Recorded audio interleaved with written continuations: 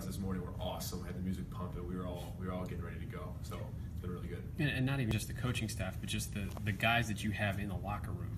Um, even even even if the coaching situation was the same, does it feel like the guys that you have are all on the same page in a way that maybe wasn't the case before? Yes. Okay.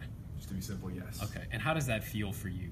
As a guy who, as a freshman, wanted to maybe take on a little bit more of a role, but you were understood like let the older guys handle that. How does that feel for you? It's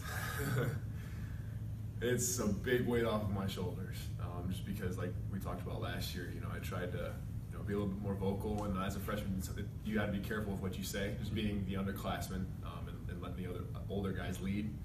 Um, but all the, we're all on the same page now. All the guys here, like like Cam said, like I said, we're all bought in, ten toes in. Like it's it feels really good. I'm not even.